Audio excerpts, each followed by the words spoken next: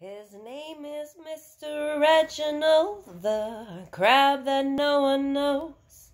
He greets us on all Tuesdays, yes, we're ecstatic when he shows.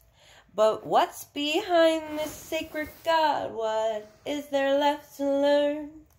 We will live under the sea and watch the world burn. Reginald, pinching disbelievers with your claws. Reginald, fishing's always fun with your friend Jaws. The sea is filled with wonderment pineapples and the like. But mermaids are a greedy bunch, will always go on strike. The life we live upon the land is just a bumpy ride. We'll burrow deep into the sand and scuttle by your side.